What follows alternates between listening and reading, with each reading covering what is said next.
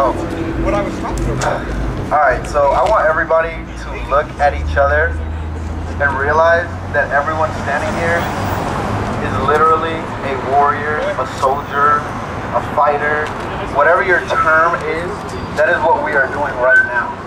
And the only way Gandhi won his struggle, the only way Martin Luther King won their struggle, is because they realized that nonviolence is way more powerful than violence will ever be.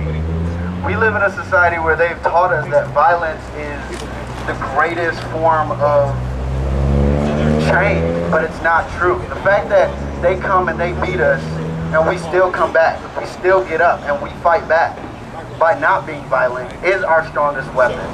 So right now we have to understand that we can't just, we have to be disruptive.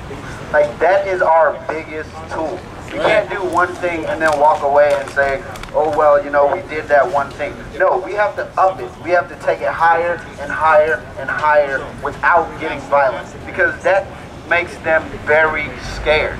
You don't know how to fight someone that's not physically fighting you back.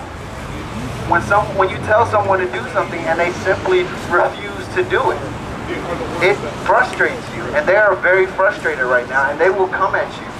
Some people all, have already been targeted. You have to realize that. So all I'm saying is, don't don't lose hope and don't start getting soft. We got to get harder and harder and harder by being nonviolent.